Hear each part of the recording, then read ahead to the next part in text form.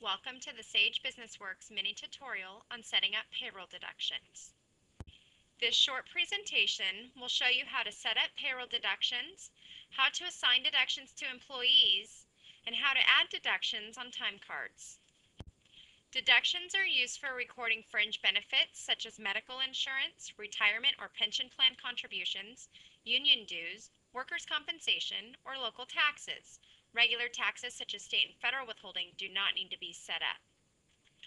If you have a deduction that is partly an employee contribution and partly a company contribution, you must set it up as two separate deductions and assign both deduction IDs to the employee and maintain employees. A combination of up to 30 deductions and other pays can be assigned to an employee. Important, be sure to consult the Internal Revenue Service or your tax advisor when you set up deductions. Many deductions have special requirements for how they appear on the W-2 form and these rules change frequently. Now let's start by setting up a deduction. The setup for deductions is found under the Payroll module's Utility menu.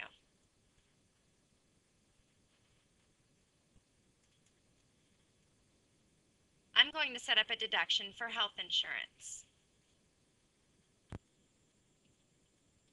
Each deduction is given an ID and description.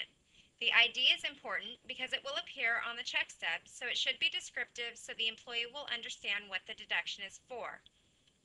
I will use INSU for insurance, and in the description, I will put health insurance.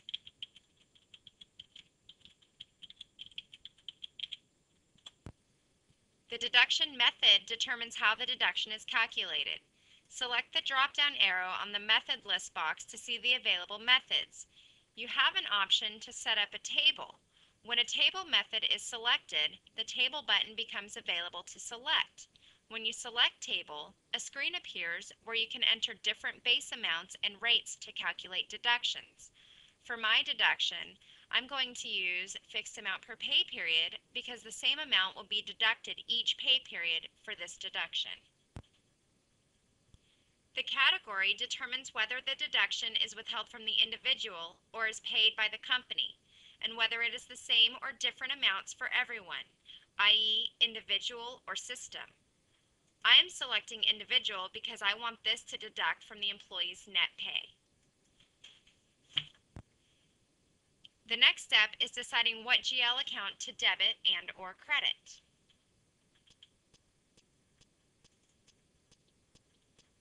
If this is a system deduction, then the amount field is available to place the amount of the deduction. If there is a dollar limit for the deduction, enter in the limit, otherwise leave it blank. When you do enter a limit, you must specify what period the limit applies to. The deduction will stop calculating for the employee once the withheld amount exceeds the limit for the period you specified. For example, if you want a maximum of $100 to be deducted per pay period, you would enter 100 in the limit and select period in the per drop-down box.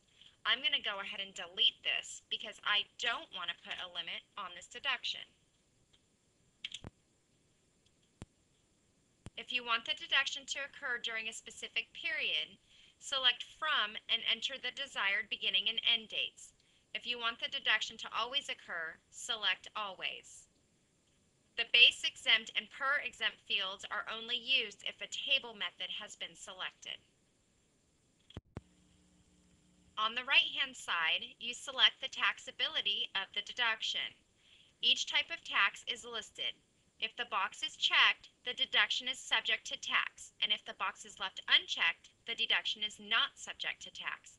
For example, if you want the deduction to be taken out before taxes are calculated for the employee's payroll, you would uncheck the appropriate taxable boxes. Again, consult your tax advisor before choosing the taxability of your deduction. Also notice the tax category drop-down. This may be necessary if a local tax needs to be set up. If this is a workers' comp type of deduction, the workers' comp code drop-down box will be available. This is based on the method chosen above. If the deduction needs to appear on the W-2, select the W-2 button. The W-2 screen allows you to select if the retirement plan and/or deferred compensation boxes in box 13 on the W-2 are checked. If the deduction amount should appear on the W-2, you can select the box number to use. Boxes 8, 10, 12, and 14 are available. See the W-2 instructions for the box number to use and for a list of valid codes for box 12. Select None if the deduction should not appear in a box on the W-2. The default is None. We recommend you run the W-2s to blank paper after posting a check with a deduction that changed. Most deduction changes are not recommended, or when a new deduction or other pay is used. Check the printed W-2 to ensure the deduction appears in the correct W-2 box and that the taxable pays are correct. Important note. Never change the taxable status of a deduction once checks have been posted using the deduction. Changing a deduction once it has been used can affect the taxable wages on the 941 and W-2. For example, suppose you had a health insurance deduction for the first part of the year that was set up to deduct after taxes. On April 1st, you implemented a Section 125 plan for the health insurance. If you deselect the taxable checkboxes on the existing deduction, the W-2 and 941 taxable wages would be incorrect. This is because BusinessWorks assumes that, the health deduction amount was pre-taxed for the entire year. To avoid reconciliation issues, always create a new deduction using the correct pre-tax designation and assign it to the employees instead of changing the taxable status on the original deduction.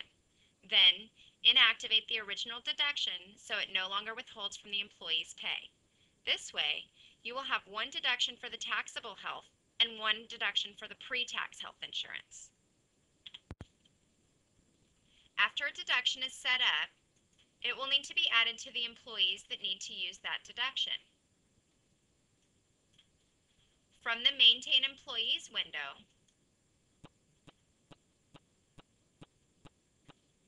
select the Deductions button. Then select the new deduction from the list box. If the deduction was set up as individual or company individual, enter the rate for this employee and accept. I'm going to enter in $50 so it will take out $50 each pay period for this deduction. You can also inactivate a deduction so that it suspends the deduction for a period of time. One example of a deduction you might suspend could be a garnishment. Once you have set up your deductions, then assign them to employees, you're ready to use them. Let's look at time card entry.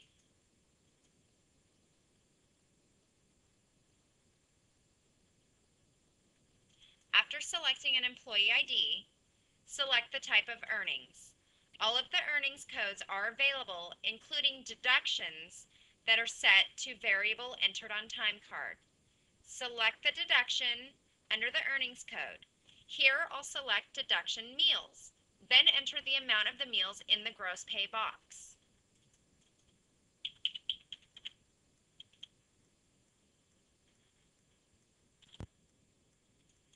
This will deduct $45 from the employee's pay. Even though the deduction is assigned to the employee and the deduction is active, the method for this deduction is variable entered on time card, so it will only take effect when the deduction is entered on a time card. When in time card entry, selecting the Deductions Other Pays button brings up a list of deductions and other pays that are assigned to the employee. You are able to activate or inactivate deductions or other pays for the employee from this list.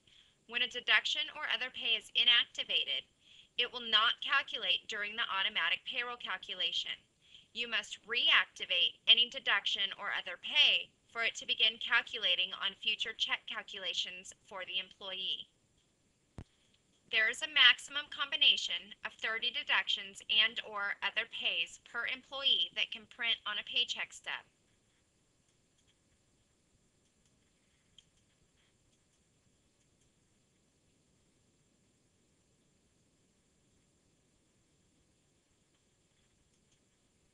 Here is a payroll register report, which is similar to a check stub that shows the deductions and other pays assigned that were calculated on this paycheck.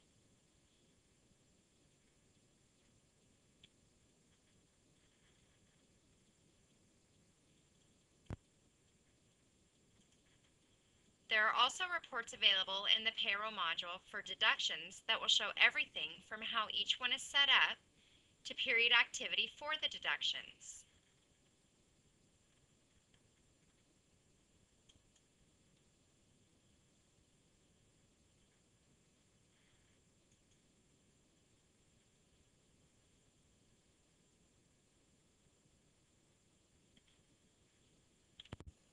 In this short presentation, we have shown you how to set up payroll deductions, how to assign deductions to employees, and how to add deductions on time cards. Thank you for viewing our mini tutorial on payroll deductions. Please visit our website again for other quick task presentations.